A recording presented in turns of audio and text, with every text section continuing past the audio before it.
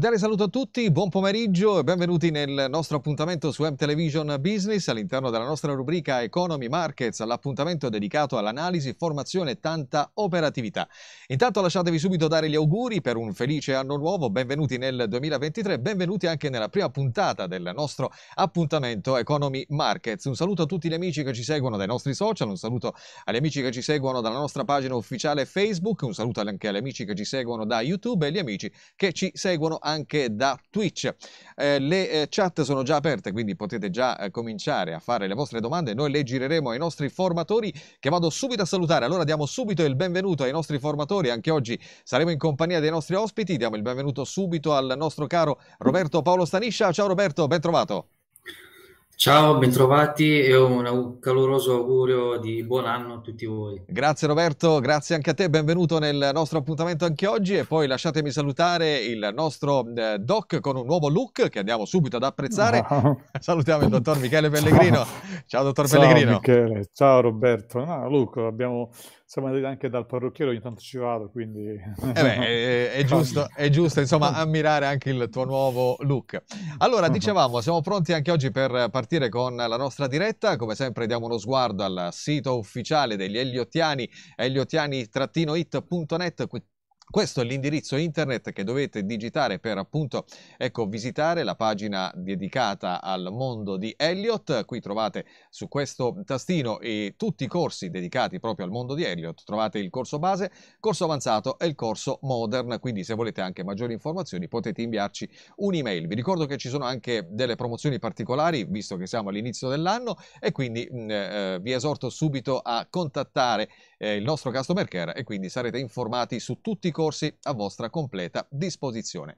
E allora come sempre anche oggi diamo uno sguardo ai mercati, partiamo, parliamo di mercati e partiamo come sempre dal comparto valutario e dicevamo in prediretta con i nostri ospiti che c'è stato un, eh, ecco, un, acquisto importante di dollari e in effetti troviamo subito il dollaro come valuta più forte di oggi che guadagna sul paniere valutario un più 5,95%, segue lo yen con un più 5,05%, sterlina più 1,06%, dollaro canadese più 0,89%. In territorio negativo invece troviamo l'euro che perde l'1,77%, dollaro australiano meno 1,84%, dollaro neozelandese meno 4 44%. Infine, la valuta più debole di oggi è il franco svizzero che perde il 4,89%. Diamo uno sguardo anche alla nostra dashboard, dashboard dove appunto eh, si evince una negatività degli indici americani. Nasdaq infatti perde oggi un meno 1,47%, S&P meno 1,01%. Dow Jones un meno 0,63%, mentre positivi gli indici europei con il FTSE MIB che guadagna un più 0,81%, DAX più 0,70%, positivi anche le commodities, il gold più 0,64%, argento più 0,24%, negativo invece il petrolio che perde un sonante 3,68% a quota 77 dollari e 43. Mentre concludiamo la nostra carrellata con il Bitcoin che oggi perde un 0,83% a quota 16.600 627. Dunque ehm, siamo pronti allora per partire con la nostra diretta, ridiamo ancora uno sguardo al sito eliottiani-it.net, questo è l'indirizzo ecco, che dovete digitare appunto per eh, visitare la pagina ufficiale del mondo degli eliottiani.it. Allora siamo pronti, vi dicevo, per partire anche oggi con il nostro appuntamento, allora andiamo con i nostri ospiti. Partirei come sempre dal nostro caro dottor Michele Pellegrino per avere un po' il punto della situazione. Abbiamo parlato ampiamente di tutto ciò che è successo all'interno del 2022 con i nostri appuntamenti che spero abbiate seguito. Abbiamo dato anche qualche piccola informazione inerente a quelli che eh, potrebbero essere i possibili scenari del 2023, ma oggi con il dottor Michele Pellegrino faremo un viaggio nel passato e un salto nel futuro. Dico bene, dottor Pellegrino? In un certo senso sì, nel senso che andiamo, volevo far vedere ragazzi che cosa.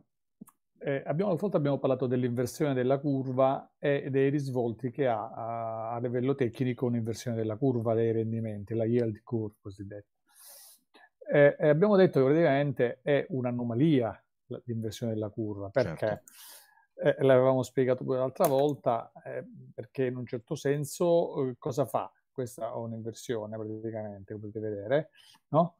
e, e, in genere la curva deve essere una curva praticamente eh, insomma, che sale, faccio vedere, andate prendo lo strumento che avete indicato di, di aprire, così ragazzi posso far vedere proprio come ho potuto vedere l'altra volta, praticamente la curva deve essere una curva praticamente fatta in questo modo, perché a scadenze più lunghe, questo è il tempo chiaramente, no? Certo. questo il rendimento, a cadenze più lunghe chiaramente deve corrispondere che cosa?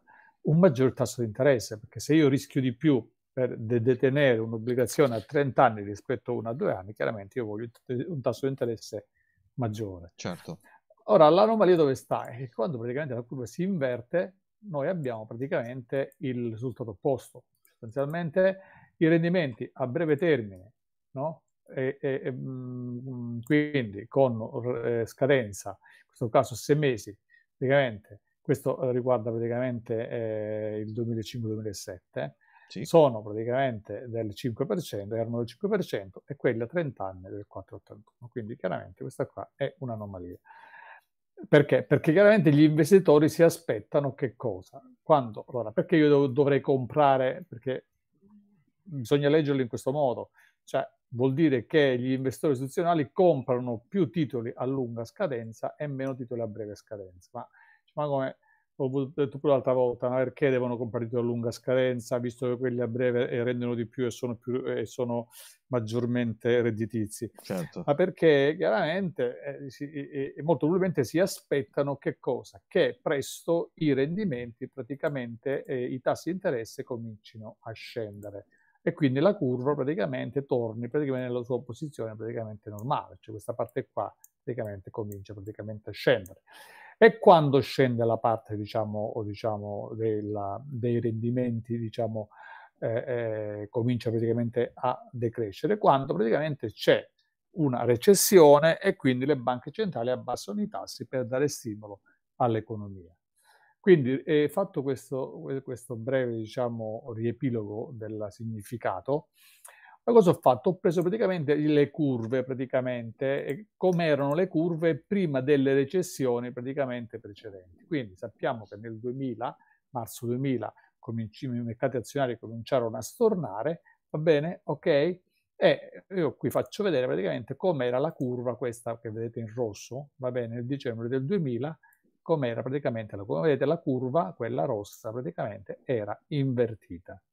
No? Ecco, okay. quindi, dottor Pellegrino, una situazione che abbiamo già vissuto, quindi ecco, staremo a vedere quest'anno sì. cosa succederà. Appunto. Sì, e infatti a maggior, a maggior, ragione faccio vedere quella invece del 2006, quando ci fu il crollo del 2007 subprime, che sarebbe praticamente, un attimo che devo cambiare, questa, se potete vedere, e praticamente era anche qui invertita, nel, nel 2006 stiamo parlando, poi nel 2007 praticamente ci fu il grande crollo, va bene che mm, si, si trascinò addirittura fino al 2013 per molti aspetti.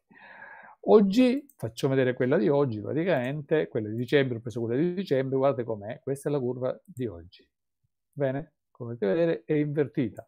Ora, mettendo in rapporto praticamente la curva no? del 2006 e la curva del 2000 praticamente 22, sì. okay? Questa rossa è del 2022 e questa del 2006, sono praticamente identici. Eh? Chiaramente c'era un discorso diverso perché i tassi di interesse erano, erano diversi, va bene, però la curva era lo stesso. Ora, molti si chiederanno, e ci chiediamo, cioè, specialmente gli americani che vanno a vedere sempre il passato, eh, loro dicono, ma se nel 2006 la curva era invertita e poi il grande crollo ci fu nel 2007 e 2008 praticamente, ora che siamo nel 2022 ci sarà un grande crollo nel 2023-2024. Questo è il concetto, no? Sì. Okay? Che noi dobbiamo cercare di far capire e di, e attimo di memorizzare. Come vedete ho fatto anche istogramma, praticamente dicembre 2006 è praticamente identica, dicembre 2006 praticamente questa invece è quella che è adesso quella che è adesso.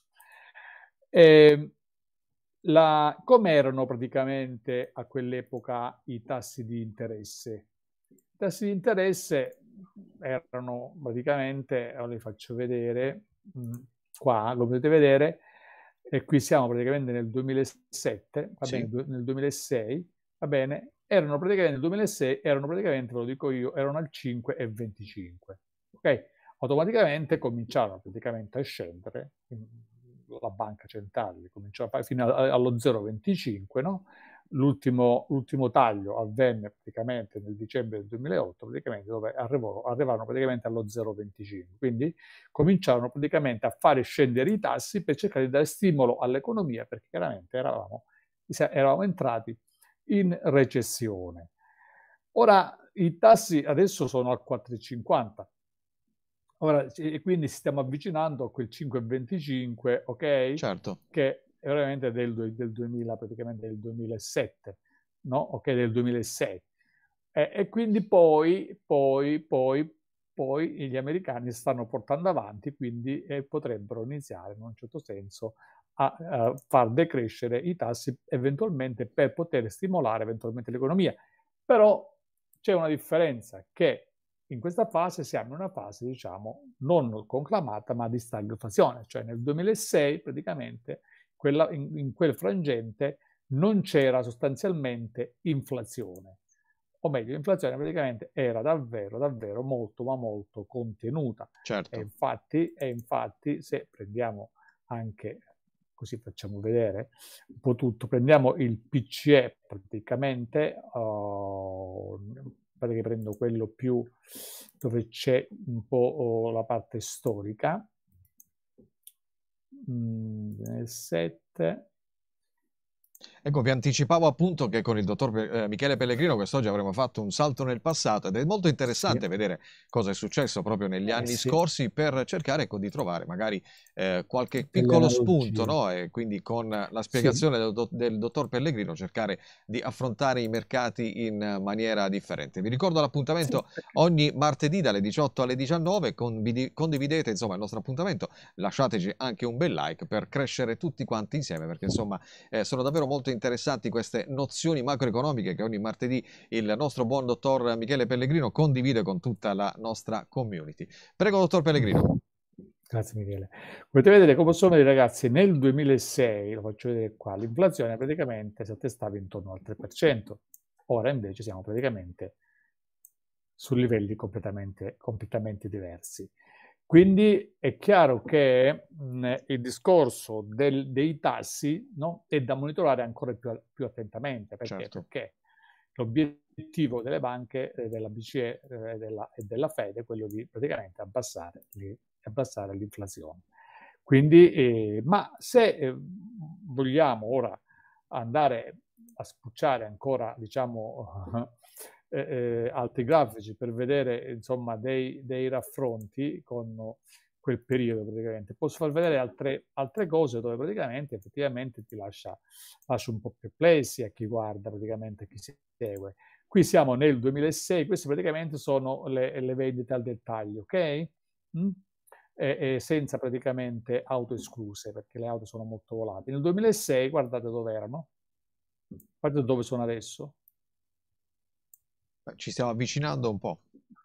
Siamo lì, siamo lì. Ci siamo, siamo certo. Lì. Siamo, siamo lì, ora io non lo faccio dritto. Poi prenderò l'altra cosa.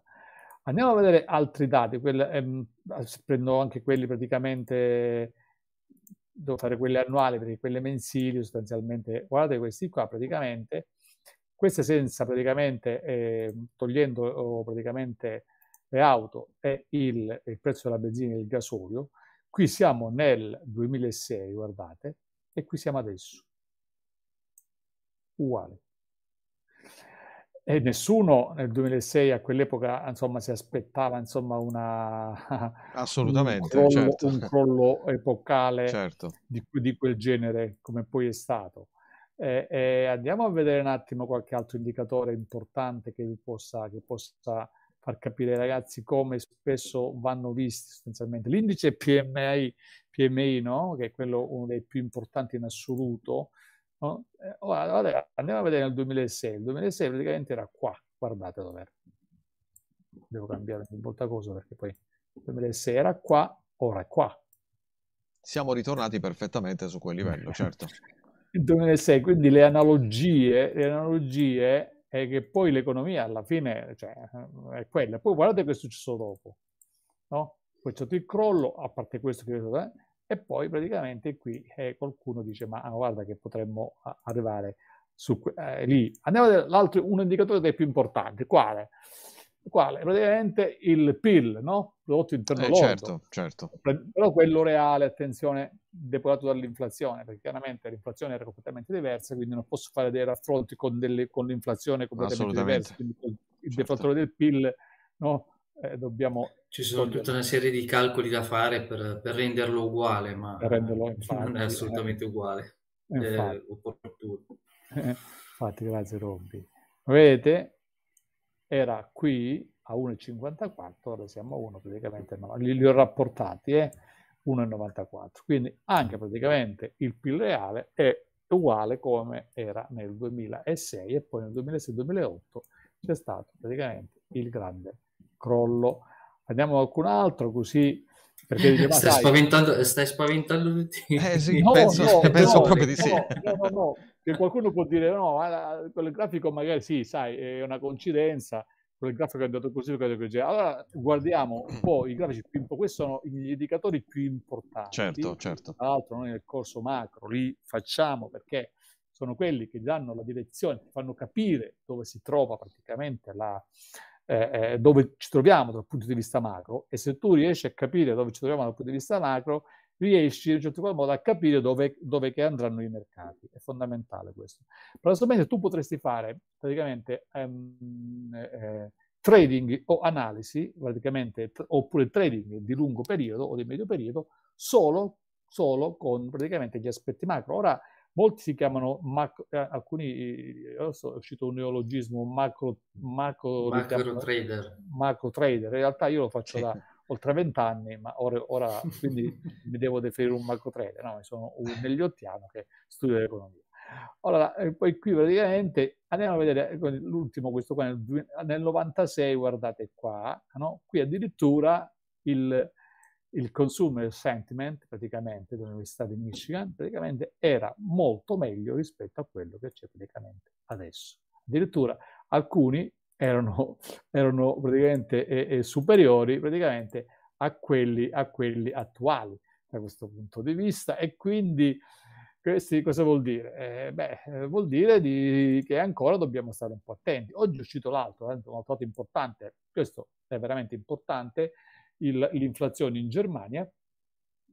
Va bene, quindi l'inflazione in Germania praticamente è, è il CPI, praticamente quello tedesco, praticamente è sceso, va bene, sia su base annua sia su base mensile, questo praticamente su base annua, dal 10,4, anche se è un dato preliminare questo, eh, 8,6, certo. al 10,4, praticamente comunque, praticamente se questo dato preliminare verrà confermato, col prossimo, eh, col prossimo dato sempre a gennaio, bene, possiamo dire che l'inflazione praticamente è generalizzata in Germania, ho preso la Germania perché chiaramente è quella paese di riferimento, certo. eh, anche quello mensile, quello mensile addirittura praticamente vedete, sono addirittura è, è, deflattivo, cioè praticamente è sceso di parecchio da questo punto di vista, quindi eh, questo è un dato praticamente, eh, ecco perché in un certo modo il DAX no, sta, sta, sta, sta spingendo, sta andando abbastanza bene eh, quindi è un fatto insomma. A proposito da... di DAX, tra poco andremo a vedere anche con eh, la, l'operatività e eh, sì. con il nostro Roberto Paolo Stariscia daremo uno sguardo proprio al DAX, quindi eh, esorto e consiglio a tutti i nostri amici che ci seguono di eh, seguirci ancora di più perché sarà molto interessante la lezione che ci darà oggi il nostro buon Roberto Paolo Staniscia. Ecco, detto allora in parole povere, dottor Pellegrino, un 2023 che insomma è davvero da prendere con le pinze, almeno momentaneamente stando ai grafici che ci sta mostrando in questo momento?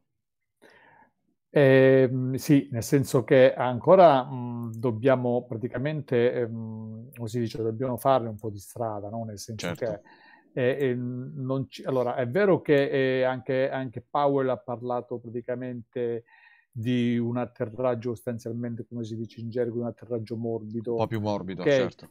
Sì, è un atterraggio morbido ma è, eh, ehm, è, chiaro che questi dati, comunque in ogni caso, questo raffronto no, che eh, gli americani li fanno di continuo, loro sono fissati con queste cose qua, noi un po' di meno, però comunque in ogni caso facendoli, eh, mh, eh, se l'inversione della curva, mh, diciamo solo in una volta, solo una volta, non ricordo quale periodo adesso, praticamente ci fu un'inversione e poi non, non, ci fu recessione, perché non è che c'è l'inversione e, e, la curva e la recessione avviene il giorno dopo, la recessione avviene dopo 6-8 mesi praticamente. Certo, certo, quindi, certo. Quindi questo dato qua. Quindi ora sarà come le altre volte o questa volta sarà un'eccezione? Questa volta è un po' diverso perché abbiamo una forte inflazione ma questo il fatto di avere una forte inflazione non è che agevola, perché si può andare verso addirittura, siamo già in una fase di stagflazione, anche se la stagflazione eh, presuppone stagnazione, quindi una recessione abbastanza conclamata che ancora non c'è, e quindi alta inflazione e una recessione conclamata. Quindi stiamo, siamo in una fase diciamo, di stagflazione non conclamata, però stiamo praticamente dentro quasi, certo. ma se la recessione aumenta andiamo veramente in stagflazione e quella è la, è la, cosa peggiore per le banche centrali, perché? Perché non possono più di tanto, poi sì, alza i tassi, ma alza i tassi per abbattere l'inflazione e in questo modo deprime ancora di più l'economia, ma se l'economia è in recessione perché c'è la stagnazione, quindi cosa devi fare con i tassi? Ora succede che eh, bisogna attivarsi con la politica fiscale. Quindi cosa? Dare più aiuti, aumentare i salari, dare contributi praticamente alle persone affinché possa aumentare il loro potere di acquisto, ma in questo modo alimenta ancora di più l'inflazione. Quindi in una situazione di stagflazione le banche centrali eh, sono terrorizzate perché avrebbero praticamente le mani, le mani legate certo, da questo punto di vista. Certo. Ora, Oggi è uscito un dato, e poi veramente chiudo, nel senso che, che è uscito praticamente il PMI Manufacturing dell'USP eh, um, Global, ok, che è un po' come l'ISM, eh, riguarda la, la, fiducia, diciamo, no? in un certo qual modo. Eh, come potete vedere è sceso ancora di più, è sceso, va bene? Ora faccio vedere anche la tabella, va bene? Eh, Potete vedere da, 46, da 50 praticamente di ottobre, ok? 52 settembre, 52, 52, 57 di maggio, ora siamo a 46.20. Quindi ecco. questo non è un buon dato. Infatti i mercati hanno praticamente, sono, eh, erano positivi se non sbaglio, perché io l'ho visto velocemente. Si sono accappottati. Poi si sono accappottati. Eh sì, decisamente questo, dato, decisamente. questo è il dato che ha fatto praticamente accappottare, accappottare i mercati. E, ehm, consiglio ai ragazzi, perché molti guardano, guardano le attese, cioè, ma il, il, dato è in linea con le attese, un momento, le attese, ripeto, è un qualcosa che eh, viene, eh, sono gli economisti che ai quali viene chiesto insomma, di dare il loro parere su come potrebbe essere quel dato. Ma un economista dà un parere che quel dato può essere negativo, ok? Ma se quel dato esce negativo, come gli economisti, sempre negativo è. Certo. Non è che, non è che quel dato, perché ha dato l'economista, no? Allora, in questo caso qua, se, se il dato viene è meglio rispetto a quello dato da, da, diciamo, dalle attese, allora in un certo qual modo eh, il mercato lo, lo, prende bene. Ma se è in linea o leggermente superiore a quello delle attese, però è molto inferiore rispetto a quello precedente, il dato è negativo. Quindi assolutamente. assolutamente. I ragazzi devono, devono, vedere. Quindi non, non, c'è chi, ad esempio, ha, ha le prime armi che, le, diciamo, diciamo così, nelle fasi iniziali in cui fa trading, quando vede che il dato praticamente è migliore rispetto alle attese, magari che so, entra al mercato long, faccio una battuta così per dire, no? Sì. Ok, entra al mercato long, ma non si fa così, nel senso che devi vedere anche il dato precedente, devi vedere la tendenza di quel dato, ok? Quindi se la tendenza, e come ho fatto vedere io, è fortemente in discesa su quel dato, ok, fortemente in discesa, lo vedete com'è, no? E allora il dato è, è ancora di più, cioè questo dato conferma, conferma no? la discesa. Questo è il punto.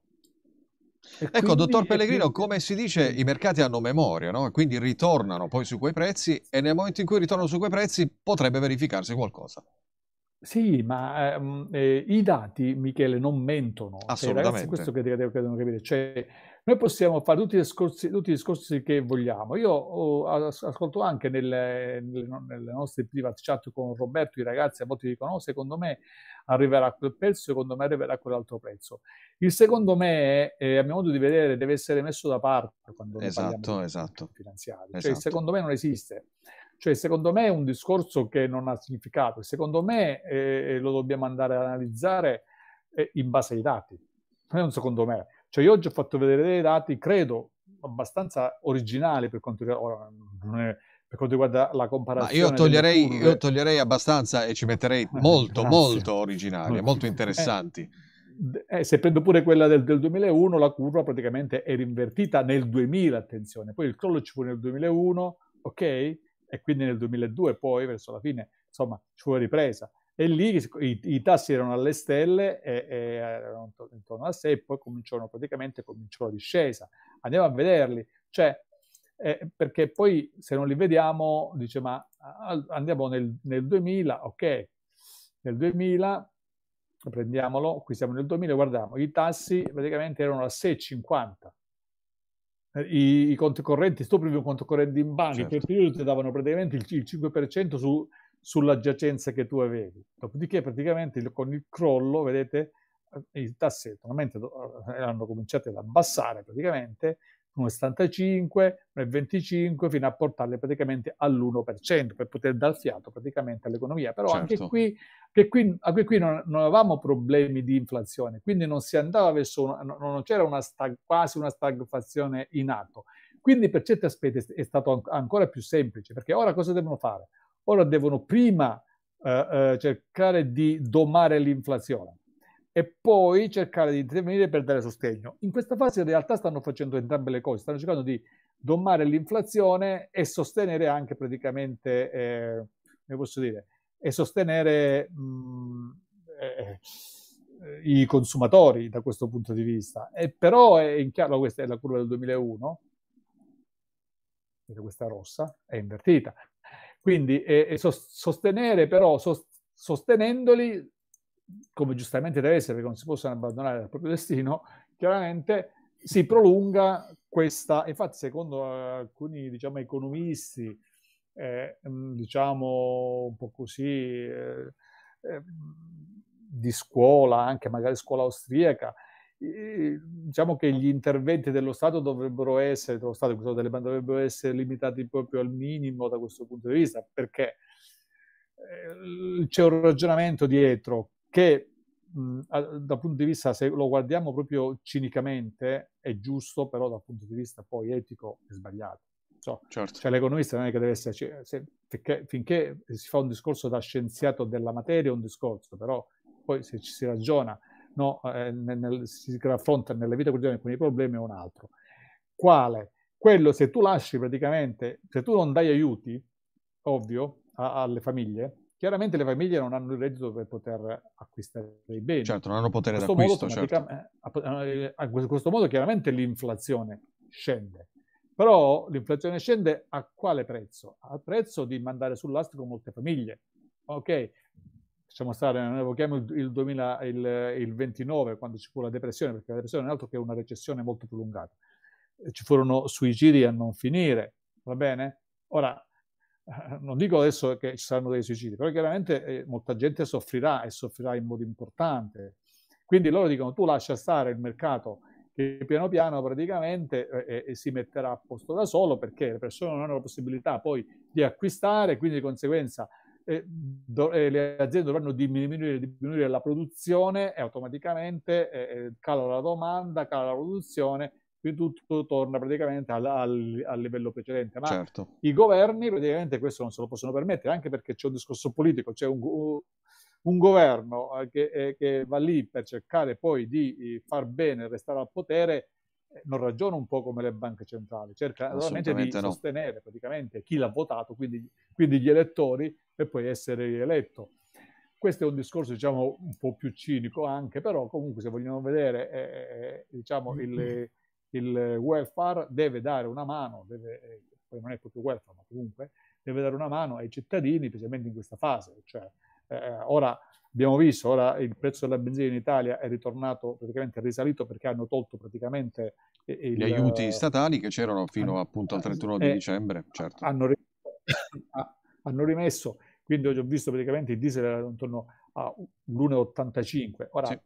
Eh, eh, sì, nel giro di, di pochissimo tempo, di, di, una notte, quindi ci hanno fatto il regalo di Capodanno. Cioè, eh beh, eh, sì, ci hanno fatto il regalo, ahimè, purtroppo per tutti eh, noi consumatori, un eh, brutto regalo, se vogliamo, no? di, di, questo 2023. È un bruttissimo regalo, insomma, considerando certo. anche i prezzi che si stanno avendo per potersi riscaldare, e quindi ci rendiamo conto che se non ci fossero gli aiuti, molti, molti precisamente le categorie meno... Più a rischio, certo. Cioè, Sarebbero molto rischio, penalizzate, effettivamente. Penalizzate, non avrebbero, non avrebbero, i soldi per potersi riscaldare. Un anziano che non si può riscaldare malato, praticamente, certo. io ne so qualcosa, è una cosa, voglio dire... Però ecco, dottor Pellegrino, consoliamoci, consoliamoci insomma, del fatto che almeno qui al sud abbiamo ancora eh, delle buone temperature, almeno fino a questo momento, quindi almeno... Eh, almeno questo... questo momento abbiamo avuto... Ah, abbiamo avuto 20 gradi. Almeno questo è un bel regalo che ci ha fatto il nuovo anno, quindi cerchiamo e speriamo che insomma noi... eh, si mantenga il tempo eh, clemente a, a con noi. ci hanno dato la mazzata. Mentre Roberto, ahimè, ci hanno, dato la mazzata. hanno acceso Robby, oltre tu... condizionatori, termosifoni, eccetera, eccetera.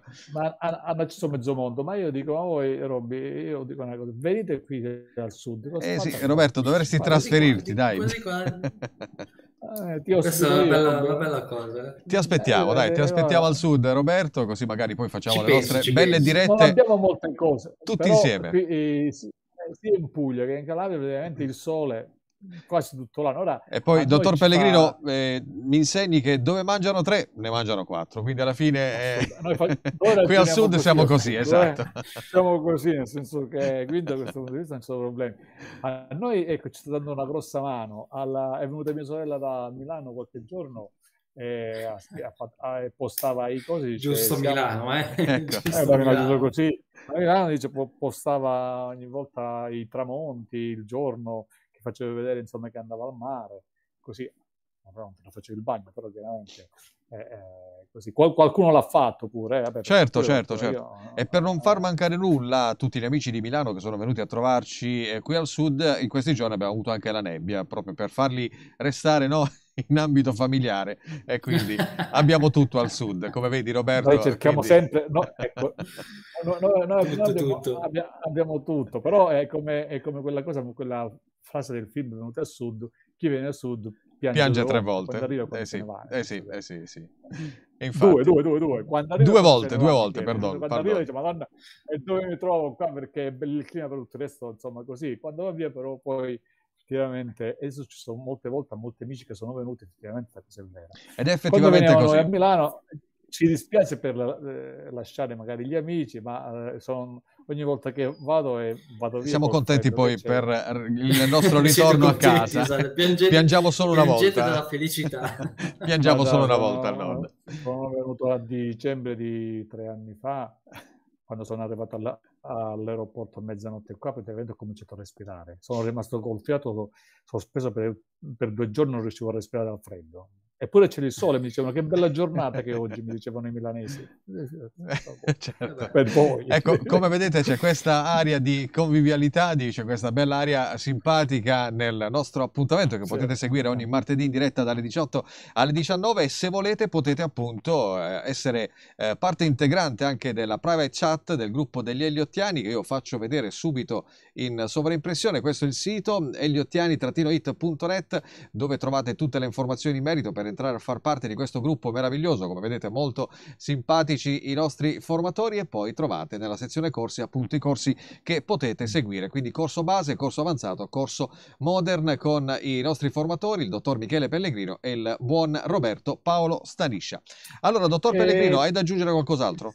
No, no eh, volevo dire una cosa, perché Roberto, perché lui insomma... Ehm fa un po' tutto, lui è il braccio destro e sinistro perché fa tutto quanto lui. È il factotum mi... degli eliottiani.it. Sì, sì, mi diceva praticamente che mi parlava di un fondo praticamente azionario bilanciato così di un ragazzo che non so avesse fatto... Io volevo, volevo dire, non so se ci sta ascoltando questo ragazzo, che quello è un fondo praticamente cosiddetto un fondo dei fondi praticamente flessibile. Che significa? Lo ecco. spiego molto velocemente in realtà il fondo cos'è? I fondi comuni, come le SICAV, non sono altro che dei contenitori dove praticamente a secondo della, uh, uh, diciamo, di quello che dichiarano, di quello che di, mh, del benchmark, cioè sostanzialmente se è un fondo azionario deve investire in azioni, ok?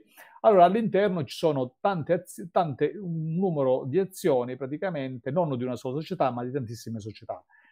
Ah, poi dipende se è un fondo diversificato per settore, compagnia bella. Quindi aiuta molto nel caso uno ha pochi capitali e quindi ad esempio che so che hai 2000 euro, 2000 euro non compri, compri un'azione sola, quindi non riesci ad abbattere il rischio, sistem- il, il, il rischio specifico e quindi comprando il fondo tu praticamente è meno rischioso perché è come se comprassi tante piccole parti, cioè come se comprassi tante aziende contemporaneamente, piccole quote di tante aziende. E quindi questo è un fondo comune. Quando è a fondo dei fondi, in realtà è un fondo che compra altri fondi. Mm? Quindi compra altri fondi, compra fondi azionari, compra fondi obbligazionari, cioè a sua volta praticamente compra fondi che sono già praticamente eh, eh, diversificati. Quindi è una, diciamo, una, eh, una categoria a parte. Chiaramente presenta delle commissioni aggiuntive perché deve comprare altri fondi che hanno a sua volta de- delle, delle commissioni. Flessibile che significa? Flessibile significa che ogni fondo in genere dichiara un benchmark, cioè io devo fare praticamente, devo avere, che se io devo avere il 70% di azionario, il 30% di, di, obbligazioni, io devo cercare di mantenermi su questi livelli qua 70 e 30. Quando è flessibile invece io posso, io gestore, posso agire come voglio, cioè posso arrivare al 100% di azione o anche al 100% di obbligazioni o addirittura di liquidità. Quindi qui si vede se il gestore è bravo, se il gestore è bravo ti dà un valore aggiunto, se fa schifo, se è incapace e, e, e ti fa molto male. Ehm, detto così, in due parole, diciamo... Ecco, ecco quindi se volete maggiori informazioni potete inviare un'email, come vedete ora in sovraimpressione, a eliottiani.wave.gmail.com e eh, chiedere insomma eh, qualsiasi tipo di informazione ai nostri formatori che sono a vostra completa disposizione e poi vi risponderemo magari o in privato o comunque in diretta come il nostro certo. dottor Michele Pellegrino sta facendo in questo momento. Giro lo sguardo alla chat, c'è da salutare l'amico Antonino, dice buonasera a tutti, oggi bella passeggiata in spiaggia, bella giornata di sole. Quindi, ecco. Perché è siciliano Antonino. Quindi eh, anche, sì, sì, anche sì. Antonino fa parte insomma, eh, del sud, quindi anche Antonino si sta gustando quindi... il sole, il sole meridionale. E va bene. Allora, lo, straniero, lo straniero sono io. E mi sa che eh, se dovessimo fare trova l'intruso, in questo caso, eh, caro Roberto, sei l'intruso della situazione, quindi... Allora ti invitiamo eh, nuovamente a venirci a trovare in Puglia e in Sicilia Aspetta. o in Calabria, quindi dalle nostre parti.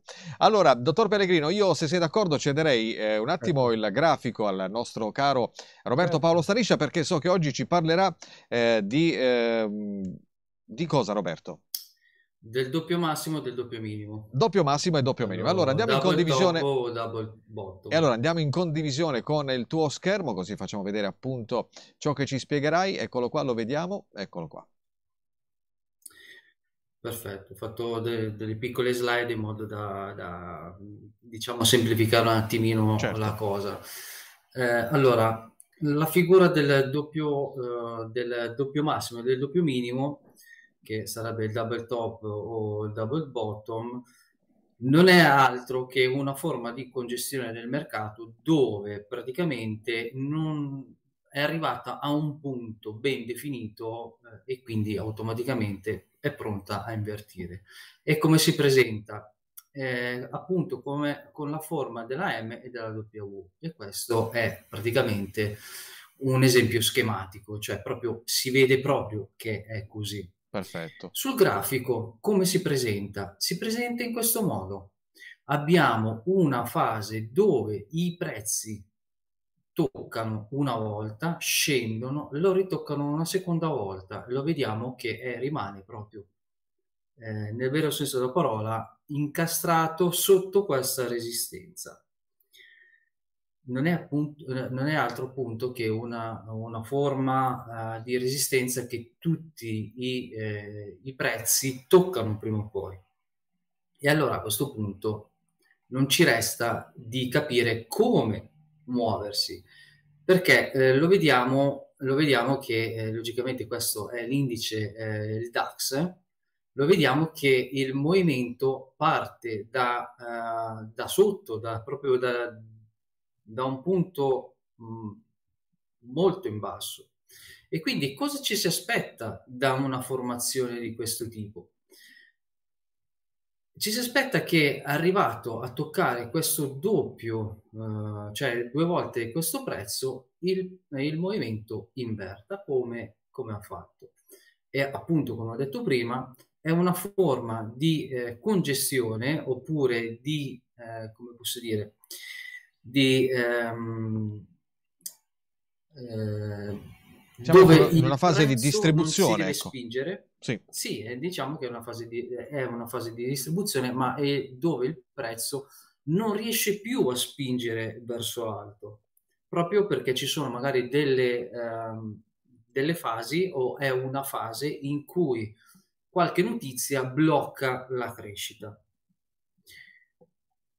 Nella parte operativa, logicamente, Cosa significa? Che una volta individuato il doppio massimo, una volta che si, indovina, si in, mh, mm, trova un punto centrale, più o meno al centro, occhio, occhio croce, si va a vedere dov'è il punto di supporto, perché appunto questo è una fase di supporto.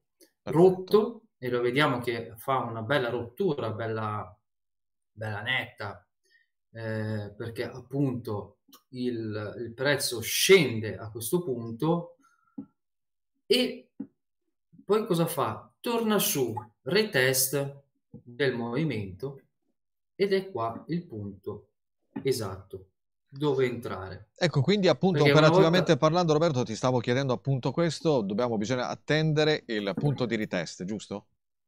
Sì, eh, calcoliamo che qua sono su, sul daily, quindi scendendo di time frame, magari già in questo, in questo punto c'è piccolo, un piccolo spunto dove uno può, eh, diciamo, prendersi parte della, della candela e quindi automaticamente prenderne beneficio. Nel frattempo, Roberto, Nel... perdonami se ti interrompo, ma ecco, Prego. dalla chat mi chiedono di avere un'analisi eliottiana sul dollaro, quindi chiedo al dottor Pellegrino magari di eh, preparare questo tipo di analisi ah, per il nostro dollaro. amico Antonino. Eh, quindi credo proprio sull'indice del, del dollaro, se non vado errato. Ecco, Antonino, dacci, dacci insomma conferma che sia l'indice del dollaro, l'analisi eh, la quale appunto il nostro dottor Michele Pellegrino eh, eseguirà tramite appunto la teoria di Elliott e quindi andremo tra poco a vedere questo tipo di analisi. Intanto Roberto perdonami, ma ecco ritorniamo sul tuo grafico. Sì, eh, qua invece vediamo come si comporta con un doppio minimo. Ora, il doppio minimo di solito è eh, come questo, si trova alla fine di un movimento, in questo caso ribassista, perché scende e poi risale. Questo è una forma più piccola, quindi eh, i doppi minimi eh, sappiate che non sono così frequenti. È più facile trovare un doppio massimo su time frame alti piuttosto che eh, i doppi minimi, perché appunto sono formazioni dove invertono e eh, in, trovare un punto di inversione in una, in una fase molto crescente è, è decisamente eh, difficile, se non a time frame bassi. Quindi automaticamente noi che cosa dobbiamo fare a questo punto? Dobbiamo cercare come, eh, il, come con il doppio massimo diciamo lo spunto, lo spunto operativo. Eh, scusate, vado alla ricerca, eccolo qua del, del punto esatto, vediamo. Ecco ora Roberto cosa hai tutto, fatto? Hai scalato, hai scalato di sì, sono, sì, sono Perfetto. sceso sul, su H1 per andare a trovare quel...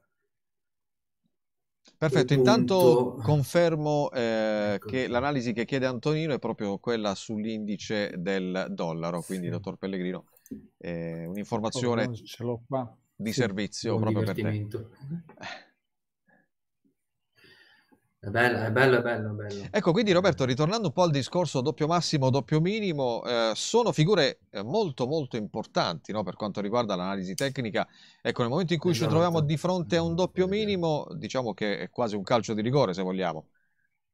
Sì, in un certo senso sì, eh, perché appunto il movimento, questo è il Brodening, Brodening che è passato, perché praticamente vi dice che fate attenzione, io sto invertendo, non ho, non ho avuto la forza di continuare il trend precedente e quindi automaticamente voi state eh, assistendo a una fase di inversione. inversione certo. è una, è una, e questo eh, tipo di eh, diciamo, opportunità è molto raro sui, sui bottom è molto più facile trovarlo sui top. Scusate, ma eh, si è bloccato un'altra volta. Comunque, vediamo i top. Eh, c'è un top molto interessante e lo troviamo sul, sull'oro. Ecco, questo mi sembra molto interessante che eh, appunto eh, in parecchi ci richiedono e quindi è davvero con grande piacere che seguiamo eh, questa tua analisi sul gold, Roberto. Sì, eh, logicamente pochi hanno, hanno compreso il movimento che sta facendo. Non è tanto difficile. Noi sappiamo che l'oro, eh, come, eh, come, ha spiegato varie volte anche Michele, l'oro è un cosiddetto bene rifugio. Tante volte, eh, specialmente in questo ultimo periodo, l'oro non riesce a spingere verso l'alto per via delle, eh, delle condizioni macroeconomiche, specialmente certo. delle, della fase uh, delle obbligazioni. Queste due punte sono quello che viene definito un uh, double top, cioè un doppio, un doppio massimo. Tanti dicono eh, questo hai scoperto l'acqua calda. Sì, è vero, ho scoperto l'acqua calda, però tanti non lo sanno, non riescono a comprendere che un doppio massimo è semplicissimo da trovare in, in questo senso. Non è perfetto ma sostanzialmente lo vediamo che eh, qua esce fuori oppure qua rimane leggermente più mm. corto, ma è questa il, il doppio massimo, cioè non esiste una perfezione assoluta, esiste una forma che è uguale. In questo caso però che cosa è successo? è successo che il, la forma di resistenza, cioè il punto di eh, supporto, scusate, è stato rotto a rialzo. Beh, eh, io non, non, mi scandalizzo perché generalmente può rientrare e poi ritornare, eh, diciamo, nella sua fase di discesa. Perché questo? Anche dovuto dal fatto che eh, ci sono dei punti ben, eh, diciamo, prestabiliti, già prestabiliti in un certo senso, eh, cioè, non è che ho la, la, verità assoluta in mano, certo, però certo. diciamo che questa fase, eh, questa trend line è in fase di eh, molto vicina e quindi automaticamente il punto può essere toccato. Il, la, il, diciamo che come misurarlo?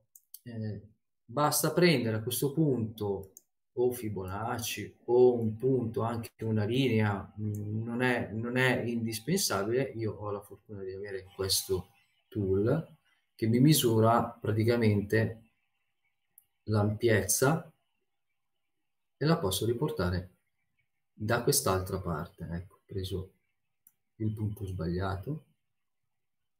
Eccolo qua.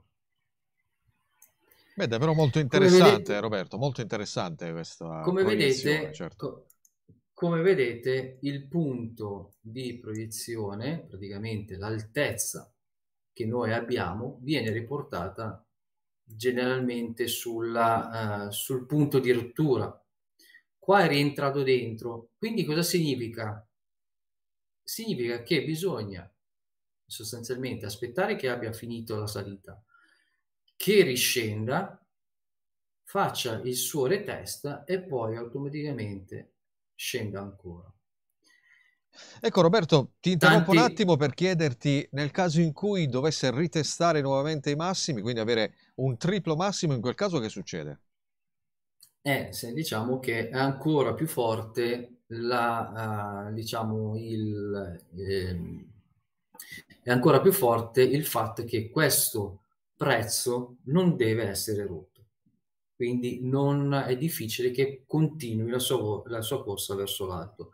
Se fa un triplo massimo, ha anche qua la, il punto di, eh, diciamo, la sua linea di eh, supporto che deve essere rotta e quindi automaticamente si deve, si deve eh, trovare nelle stesse condizioni. Una volta rotto si deve trovare ehm, il punto Perfetto. misurandolo in questo modo. Ecco, a beneficio del pubblico, eh, Roberto, visto e considerato che non si legge molto bene eh, il prezzo, ci puoi dare appunto il prezzo della proiezione eh, di questa analisi? Allora, ripeto, deve essere rotto, deve essere rotto di nuovo a ribasso. Certo, dando per scontata la rottura, ecco, eh, qual è l'analisi esatto.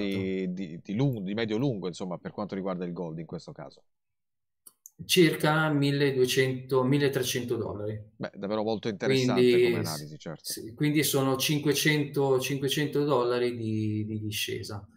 Tanti, tanti di, di urleranno contro il, il, monitor dandomi del pazzo, però, Beh, però la, proiezione, la proiezione è questa.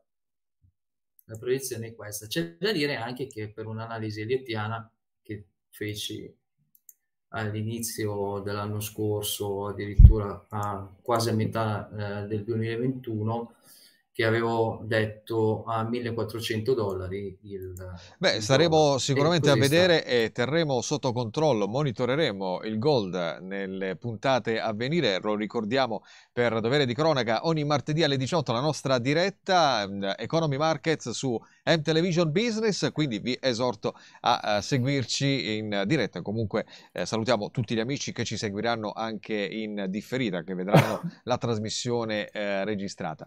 Allora Roberto, eh, per concludere abbiamo ancora pochi minuti, poi devo cedere la parola al dottor Pellegrino per l'analisi sul, sull'indice del dollaro.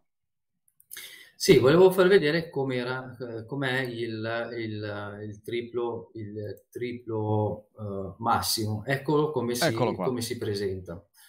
Praticamente abbiamo anche qua un, un, punto ben riconoscibile dove il prezzo difficilmente è riuscito a rompere. Logicamente qua siamo su H2, cioè su due ore. Significa che il movimento più grande poi è andato decisamente più su. Però, certo. dato che noi stiamo operando diciamo, a, nel breve, questo è il nostro range che dobbiamo guardare. E guarda caso, lo faccio vedere anche qua, il nostro... Beh, questa è davvero un'operazione da manuale, se vogliamo, vengono rispettate tutte le eh, analisi tecniche e quindi è davvero, come vedete, da manuale. Anche, se, anche se, si dovesse aspettare, si dovesse, si dovesse aspettare questo prezzo, certo. anche se non lo va a toccare, vediamo che il 100% dell'altezza che noi vediamo è stato rispettato. Perfetto, perfetto. Quindi ecco, ricordiamo a tutti i nostri amici che eh, ci stanno seguendo, lo facciamo vedere un attimo in sovraimpressione, eliottiani-it.net, l'indirizzo internet eh, dove appunto potete accedere e quindi prendere contatti con i nostri formatori per entrare nella grande famiglia degli eliottiani che appunto eh, eh, sarà appunto eh, seguita la formazione completa dai nostri formatori Roberto Paolo Staniscia e il dottor Michele Pellegrino con appunto analisi tecnica in primis, poi eh, macroeconomia e poi chiaramente eh, la teoria delle onde di Elliott. Bene Roberto, allora io ti ringrazio per il momento per questa bella lezione anche oggi eh, sull'analisi tecnica che eh, come si dice non funziona e lo stiamo dimostrando ancora una volta, giusto dottor Pellegrino? Sì, infatti non funziona quella, lasciatela stare. E quindi, come vedete, con i nostri formatori andiamo sempre a vedere e vi, vi, dimostriamo insomma la bontà dell'analisi tecnica. Ma ecco, analisi tecnica, come diciamo, eh, in concomitanza con la teoria delle onde di Elliott e la macroeconomia, poi dà davvero dei risultati eccellenti. E allora andiamo a vedere un po' la richiesta, esaudiamo la richiesta del nostro amico Antonino Vitabile, ci richiedeva um, un'analisi sul dollar index. Allora vediamolo insieme, dottor Pellegrino, con la teoria delle onde di Elliott. Sì, allora, eh, stavo guardando praticamente l'ultima parte mm, praticamente del dollaro, ok? Allora, come potete vedere c'è una struttura praticamente qua, una struttura correttiva, va bene? Perché è chiaro che è una struttura correttiva. Come potrebbe essere? È chiaro che noi in genere parliamo sempre di teoria classica e teoria classica, eh, teoria classica ortodossa e, e Modern Wave Theory, cioè certo. la, la, teoria che io dicevo praticamente, che avevo praticamente da me teorizzata in questo modo senza apportare nessuna modifica alle linee guida e alle, alle diciamo, a, alle regole base della teoria classica, però con alcuni accorgimenti, perché chiaramente la teoria classica, specialmente nel forex, crea dei problemi di etichettatura. Quindi qua praticamente qualcuno ha etichettato praticamente, io lo so che eh, come praticamente un impulso, va bene, quindi di conseguenza poi ha fatto A, magari una B e poi una C. In realtà, dal punto di vista della, della se andiamo a vedere poi le sottostrutture, qui le sottostrutture praticamente dove c'è una struttura ancora, che è ancora in divenire, potremmo anche etichettarla come A, B, 1, 2, 3, 4, 5, C, e poi di conseguenza abbiamo una WX e poi a partire da qua con un altro potrebbe essere un altro A, B, C per andare ad ultimare praticamente l'onda, praticamente l'onda Y da questo punto di vista. Quindi un triple 3 perché? Perché onda A, onda A, Antonino, onda A non può essere praticamente un impulso, quindi è una struttura 3, va bene? Quindi dobbiamo parlare solamente che abbiamo una flat, va bene? Quindi la flat, l'onda B, la teoria classica dice che deve correggere almeno il 90%, ma tu sai benissimo che per noi quando si arriva a 76,4 praticamente è più che sufficiente per poterla considerare praticamente una flat. Vedete, ehm, questa... Scusami, e anche lì c'è un doppio massimo. Anche qui c'è un doppio massimo, 1 e 2. 1 e 2. Se vogliamo anche triplo, messo... Roberto. No, no, no? È, più, è, più, bassa, troppo più bassa, è, doppio. Questa, praticamente questa è un'altra fletta. No, vedevo, vedevo prima, prima eh, in alto. Eh, sì, Questo? esatto. Sì, sì, sì. Può essere inteso anche come triplo massimo. No, è troppo vicino. Perfetto. Quindi si esatto. prende questi, questi due. Perfetto. E quindi praticamente questo è un, un altro doppio 3, chiaramente. Eh, chiaramente qui è a 3, 1, 2, 3, quindi far vedere Antonio che chi poteva fare A, B e poi far C ma questa non può essere un'onda 1, un, un'onda 1 Antonino, perché è, il movimento è chiaramente a 3. Ok? Se poi vogliamo fare 1, 2 e andare a mm, pescare una piccolissima onda 3, 4 e 5, ok? Ma voglio dire, eh, adesso eh, eh, parliamo vedi, non, non, per quanto riguarda il concetto di proporzionalità che vi ho anche spiegato più volte, questa qua è molto più grande rispetto a questa, a questa da qua, quindi è più facile, quindi senza forzare la teoria, la teoria non va forzata, va solamente gestita, ok?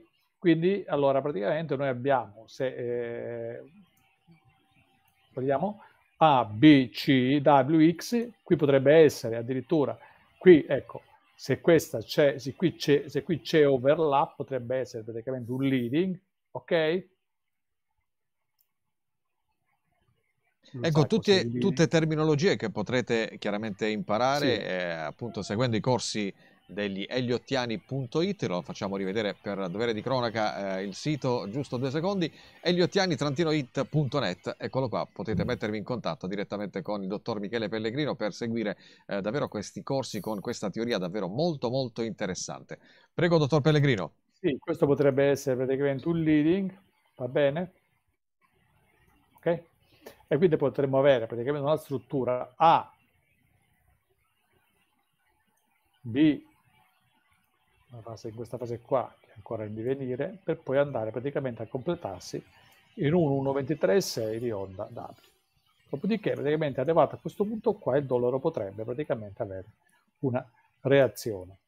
Ora, Vedi, eh, Antonino, dovete partire sempre quando eh, si fa l'analisi in modo da farla molto velocemente senza dover uh, cercare poi... Mh, dovete cercare di partire possibilmente dal periodo più lungo. Questo è un... Io non, purtroppo mi manca lo storico precedente qui perché si ferma al 2011, purtroppo non ce l'ho, ma già vedere questo praticamente no, mi dice che cosa? Che se io dovessi partire da qua abbiamo uno 2 e 3, perché non può essere 1, 2, 3, 4, 5, non può essere questo, va bene, potrebbe anche essere, ma in questo modo non ce lo vedo. Comunque in questo modo praticamente è come se il dollaro praticamente ancora nel lungo termine non avesse finito praticamente la struttura impulsiva, però prima di la struttura impulsiva diciamo come terza gamba, ma ancora è troppo presto per valutare questo, eh, Antonino, è troppo presto nel senso che eh, bisogna vedere quanto i tassi sono mantenuti alla lunga, ok?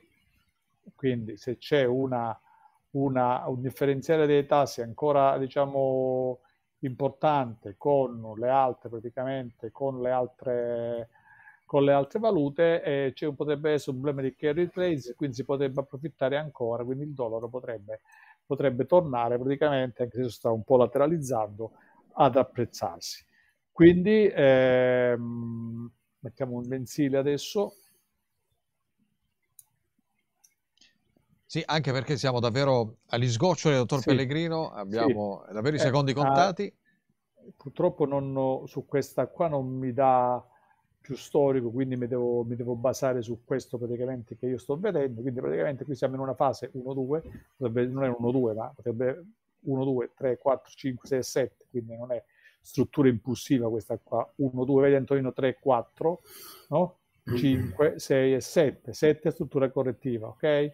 Bene, quindi non puoi fare 1, 2, 3, capito? Quindi in questo caso abbiamo sempre un discorso W, X, Y eventualmente, ok? Oppure A, questo caso è struttura 3, A, B, e questa la fai come impulso, va bene, dopodiché C, prima correzione e poi l'altra spinta che ti dovrebbe, dovrebbe, dovrebbe dare, ma chiaramente come tu sai, no? dopo aver completato la struttura correttiva, ok, dobbiamo, dobbiamo valutare assieme agli aspetti macro, se la correzione finisce a 3, praticamente una correzione a 3, oppure la correzione potrebbe essere a 7, va bene? Quindi in questo caso potremmo avere 1, 2 e 3, va bene? Quindi avere 3, 4, 5, 6 e 7, quindi la struttura potrebbe continuare praticamente la sua, praticamente, il suo movimento correttivo.